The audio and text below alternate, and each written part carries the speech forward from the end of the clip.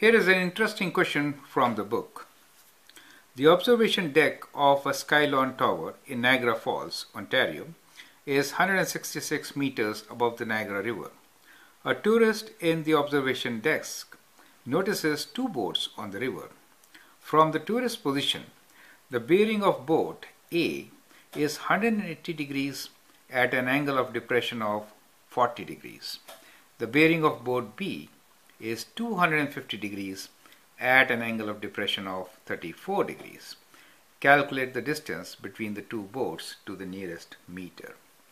So let's first try to sketch the diagram to represent the situation. So now we have two planes here. We say represent north and east on the horizontal plane in these directions. So we'll say let this be the north direction, right? And this is east for us. Now whenever we are given bearing angles, they are always measured from north and they are clockwise, correct? So when we say bearing of boat A is 180 degrees, that means from this location 180 degrees will be kind of like this. So that is 180 degrees, right? And when I say bearing of boat B is 250 degrees, so 250 degrees will mean that is 180 and this is 270, right? So it's kind of more than that. So it's kind of like this, right? So that becomes 250 degrees, 20 less than 270. So these are the two bearing angles. So let's draw the location of the boats along these lines. So boat A, which is at a bearing of 180, will be kind of along this line, right? And boat B will be at bearing of. So that is the line along which boat B will be there. Now how to find the point at which the boat is there? That we get from angle of depression. Now the tower is given to us as with the height of 166 meters. So this point is a point from where the observations is being done, right? It's vertically down on the xy plane. Now that is the tower which is 166 meter let us say. Now it says at an angle of depression of 40 degrees for boat A. A is 180. So in this direction we have boat A. That means if I connect the tourist position with the boat A, I should get an angle of 40 degrees, right? So what we do is we draw a line at an angle of 40 degrees from this point. So that is kind of like this. Do you see that? So that angle is 40 degrees for us. So we get this one as 40 degrees and we get a point which is point A for us. Now for point B, the angle of depression is 34 degrees from the same point along this line. Do you see that? So 34 degrees could be along this line. So we'll go with this and we'll draw an angle of 34 degrees. And let us say this angle is 34 degrees, right? Let me extend it now so that we get the point of intersection. So that it that is it. So we get point B here. Now for point B, from the top, this angle is 34 degrees. So when we say this angle is 34 degrees, these two lines are parallel and therefore the angle of elevation becomes 34 degrees from B. And similarly from A, the angle of elevation becomes 40 degrees. So normally you'll see angle of depression and angle of elevation will square out, they'll be even, right? Now this is kind of vertical plane triangle and so this will be 90 degrees. What we need to find is to find distance between A and B. That is what we need to find. So let's join these points and then try to figure out how to find this distance between A and B. But I hope first part is the diagram is clear to you. Let's read the question once again to just confirm that we are on the right path. The observation deck of the Skylon Tower in Niagara Falls, Ontario is 166 meters. That means this height is given to us as 166 meters. A tourist in observation desk notices two boats on the water. From the tourist's position, the bearing of boat A is 180 degrees at an angle of depression of 40. That's correct. The bearing of boat B is 250 degrees at an angle of depression of 34. That is correct. Calculate the distance between the two boats to the nearest meter. So we to find distance AB. Perfect.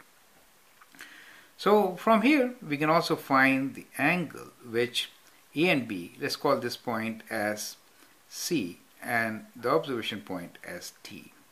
So angle C should be, now we know this much angle is 250 and for A it is 180. So angle BCA should be equals to 250 minus 180, right? So that is angle C. So we have to do 250 minus 80, which is 70, right? So we do 250 minus 180, and that gives us 70 degrees. So in this triangle, we know that the angle is 70 degrees. Now, we have to find these two sides so that we can find BA. These two sides, that means BC and AC, can be found very easily using the vertical right triangles. We know the height of the tower is 166, correct? The angle at the base is 34. So BC should be related with tan of 34, right? So we have tan 34 equals to 166 divided by BC. That gives BC equals to 166 over tan of 34 degrees. Correct. So we can use calculator to find this answer, which is 166 divided by tan 34. That gives us 246.10. So we can write this as equal to 246.10 or just 1. Okay. Now how about AC? In the similar fashion, Triangle ADC is a right triangle with an angle of 40 degrees and the opposite side being 166. So AC is equals to 166 divided by tan of 40 degrees and that is equals to 166 divided by tan of 40 degrees. 197.83. So we'll write 197.83. So we know AC and we know BC. We know the angle C, which is 70 degrees. Now we can apply cosine law and find BA, correct? So cosine law is BA square equals to BC square plus AC square, which is 246.1 square plus AC which is 197.83 square minus 2 times 246.1 times 197.83 times cosine of the angle which is 70 degrees. So let's calculate this. We get 246.1 square plus 197.83 square minus 2 times 246.1 times 197.83 times cos of 70 degrees equals to 66398 let me write down. 66398 point this is 76 that is BA square. Now to find BA we can square root it right so we can square root this and once we square root this we get what we get 257.679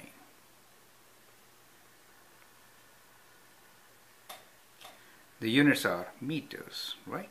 So calculate the distance of the two boats to the nearest meter. So we can round this out.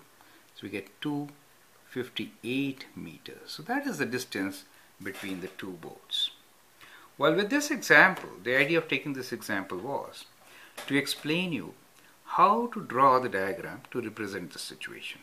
And this diagram is kind of typical since we have both the boats on the same direction kind of, right? So there's kind of an overlap when you look at it. So it becomes difficult to visualize. But I hope now it's absolutely clear to you. And I hope you can do similar questions. Thank you and all the best.